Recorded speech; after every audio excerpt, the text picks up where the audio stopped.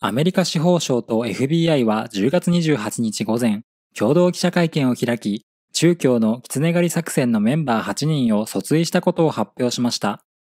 FBI はすでに狐狩り作戦のメンバー5人を逮捕しましたが、うち4人は中国人で、1人は私立探偵として雇われたニューヨーク市警の元警官でした。中共の狐狩り作戦の工作員を相手にアメリカで訴訟を起こすのはこれが初めてです。Today's charges reflect yet another example of China's ongoing and widespread lawless behavior and our refusal to tolerate it.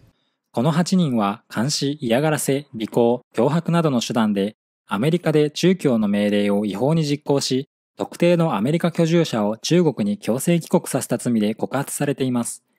中共は2014年から国際反汚職作戦という名のもとで狐狩り作戦を行っており、作戦によって捕らえられた人物の中には、宗教の政治ライバル、反体制派、批判者などもいます。Rather than work with U.S. authorities for assistance with recognized criminal cases, as responsible nations do,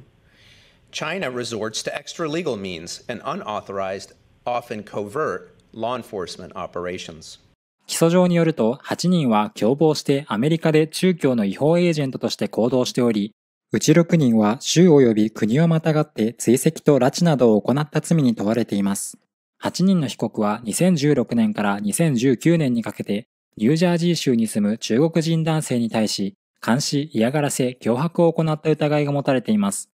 被害者は中共武漢発展改革委員会の女神元部長とその妻の劉宝氏ではないかと考えられています。二人は中共の赤色指名手配犯100人リストの13番目に載っています。また、カリフォルニアに住む女神氏の娘も脅迫されていました。10月28日午後、アメリカ永住者の主要容疑者、中国系アメリカ人の金公助容疑者、私立探偵のマイケル・マクマホン容疑者が連邦地方裁判所に出廷しました。カリフォルニア州の永住者である永京容疑者とアメリカ永住者である鄭重英容疑者はロサンゼルスで出廷しました。8人のうちアメリカ永住者の主法容疑者、武漢警察の古吉容疑者、退職した中国人医師の李敏君容疑者は中国に逃亡しています。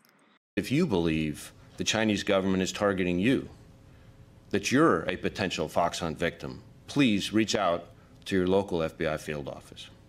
アメリカ司法省と FBI によると、中共幹部らは長年、アメリカ内の中国人に対する嫌がらせやストーカー行為などの活動を指示し、合法的なアメリカ居住者を中国に帰国させ、刑務所に送っていたといいます。中共は10月30日、逮捕者が中共の関係者であることを否定しました。NTD ジャパンがお伝えしました。